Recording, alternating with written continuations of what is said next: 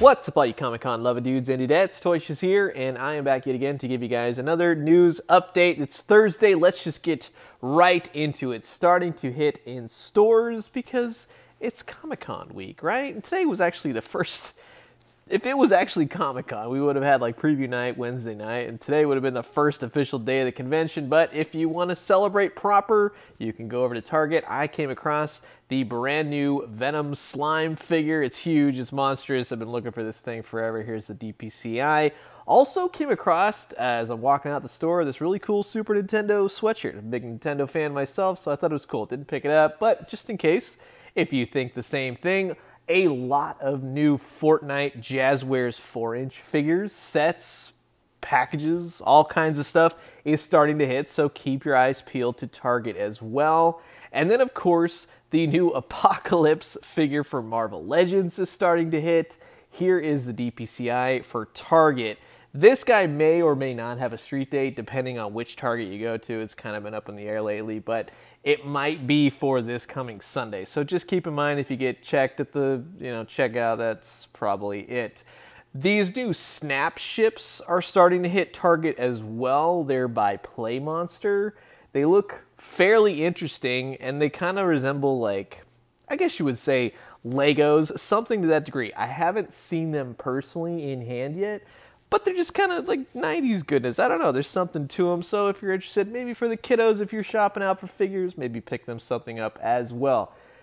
And sure enough, more stuff at Target, Super Van City. What year is it? You know what I mean? Like, just think about that. Here's all the DPCIs for the new Micro Machine packs that are starting to hit man, just always remember that old, you know, the guy doing the voice, like the guy from Blur, you know, like go go go go go, micro machine, micro machine, you know, that type of thing.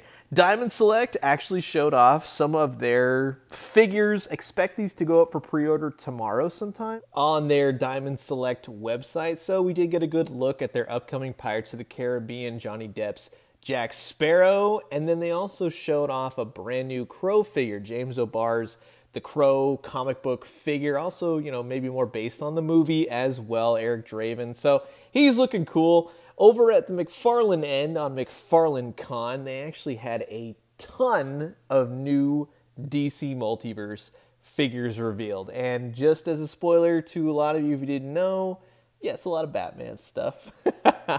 But uh, just shameless plug, if uh, if you want to see these, I did a separate video because there's so many and I had fun talking about it. You can go and check this out. It's also on my YouTube, so go watch it after you check this as well. Now, we did get a hint the other day of the new Medicom Toys Mafex, the new Batman Adventures Batman, and then the official solicit photos went out today. And he's looking actually pretty stellar. They have managed to capture that very angular, redone, you know, when they did the new Batman Adventures from the previous Batman the Animated Series, they streamlined everybody, gave them a very angular look. He seems to have a wired cape, a bunch of different interswappable hands, heads. I love this shot right here. This is very, very cool. They've managed to implement the joint system with that very angular cartoon design, so I think he actually looks pretty cool.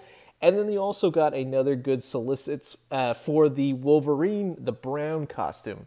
Medicom Mafex Wolverine figure. I like the facial expressions on this guy. I like his long mask. I'm a big fan of Marvel vs. Capcom's look for Wolverine. I really like the the very extended sort of uh, you know the the black mask that goes off to the side. Kind of you know what's kind of going on right here but he's got a good smirking face. What would have been cool is a yelling face with the mask. He comes unmasked with a yelling face, but I think the claws look good, you know, his his snicked powers, all that kind of stuff. It's actually a really nice looking figure, even though it's a it's a repaint basically with a little added. But also, NECA Toys, they had a bunch of new reveals as well. We got the first look at the Creep Show packaging that will be coming out for fall for various creep show related toys and I can't wait for the creep that's for sure they showed off some new Toony Terrors figure including Ghostface again very pre-posed if you've seen these in stores but they're very cool looking so this guy might be I might get I'm a big fan of Ghostface I don't know what it is I love the Scream movies then you also got the creep show creep they're doing one of him he's looking at uh, you know at the window looking, you know, like, hey, let me in kind of thing.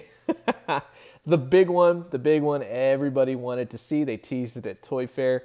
We are getting a ultimate ghost face figure, a bunch of knives, a bunch of masks. He's got a sickle. This thing, he looks awesome. I'm just gonna say hands down, this was one of my favorite NECA reveals so far. There's something about Ghostface, man. He's just going after Neve Campbell, but he's uh, crazy, and they're doing a new movie apparently, so that's pretty cool. They're also continuing on with the poster art, the original poster art for Gremlins, much like they did with the Summer Olympics SDCC exclusive. Now we're getting the back to school Gremlin, and the lunchbox opens, just FYI. We also got a good look at an ultimate Jason Voorhees. Yeah, look at that ugly mug right there. God dang. Anyways, NECA doing what they do best. Look for more detailed information as these go and become available later on this year. Hot Toys showed off their Iron Man, Mysterio's Illusion. Basically, it's a dead zombie. It's like Marvel Zombies Iron Man, but man, if I collected these things, I'd be totally after that. Marvel Legends, let's get on that. Come on, we need some more Marvel Zombies. Over at MezcoCon, they revealed their upcoming Bishop figure. I'm a sucker for X Men, man. This looks like a great, great figure. It's probably going to be, you know, all holy heck expensive, but they got all his looks, you know, especially this one. This one's the classic Bishop look, you know, with the dreadlock and the big shoulder pads and everything else. So it's their take on the character, but it is very, very cool. Also, in their five points line, we are getting some Ultraman toys. So I think that's pretty awesome. If you're not familiar with five points, they're the more basic five points of articulation figures, but they're really well done. They're classic. They do all kinds of different properties, but Ultraman is definitely one of the new ones. And I gotta say, for being that type of property, that looks pretty cool. Over on Mondo Toys, you can go and check out their pins and their San Diego Comic Con exclusives. This one is done by Strong Stuff, aka Tom Whalen. You know him from the Power Ranger artwork awesome dude. Go and check out his Spider-Man 2099 pin. Storm Collectibles showed off their brand new Darkstalkers figure. He's looking all kinds of awesome Storm Collectibles. You're, making this hard. You keep showing off really cool Mortal Kombat. You got Street Fighter. You got Darkstalkers. You're digging into stuff that I grew up with. That you know, Marvel versus Capcom kind of thing, like I was just talking about. I know what Darkstalkers is. That is very cool, and it's a very gorgeous looking figure. Bluefin were showing off their SH Monster Arts Biolante figure. This is redone from the 2013. It will light up. It's a way to kind of get it. I hear that it fetches quite the hefty price on the aftermarket. It's going to run you about 295 now. Pre-orders may be going up soon, but look for Biolante to hit around sometime next year. But yeah, that's that's an awesome Godzilla monster right there. Shout out to everyone at Mattel and WWE. They did a great presentation today on their WWE panel. They showed off a ton of stuff and please go check out Blainer on Instagram. Good friend. He was helping me out with all this WWE wrestling stuff. I try my best in talking about this. I definitely like the WWE Eternia, the Mr. T figure. They they went super fast today, by the way, on the new Mattel Creation site. But there is a new Amazon exclusive Rock figure. I'll have the link in the description below if you want to go ahead and grab him as well. The New Mutants, they had a Comic Con panel today. New release date in theaters, August 28th, 2020. I'll be honest, I had heard a little bit differently. Yes, I had known all about you know the new footage and and, and going to Disney Plus and such.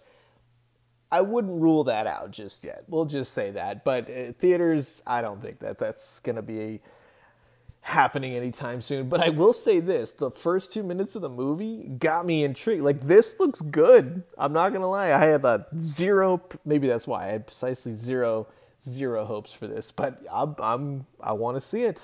Put it on Disney Plus. That's what you should have done today. Comic Con. Hey, everybody, guess what? You can do this weekend New Mutants. That would have been amazing. And of course, to finalize it, shout out to AFI Action Figure Insider, one of the best action figure sites, especially when I was growing up. I had no idea what to do. I, you know, I had Toy Fair magazine and I'd go on AFI all the time. So many memories.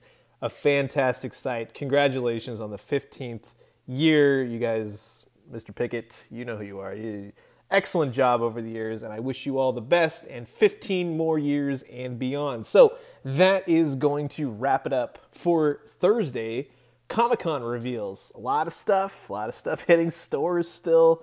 It's a lot of fun. It's unfortunate. It doesn't feel the same. You know what I mean? It's it doesn't nothing changes the fact about going to Comic-Con, being there, seeing everybody, you know, being in the crowds. But this is the hand we've been dealt and Comic-Con at home is going fairly well so far with the exception of getting exclusives and such. But hey, the news is great. Lots of new reveals. So I'm curious to know what you guys think. Comment below. Let me know. Let's talk everything Comic Con Thursday. And I'm going to leave you guys with that. As always, drink some great coffee, eat some great food. But most importantly, remember.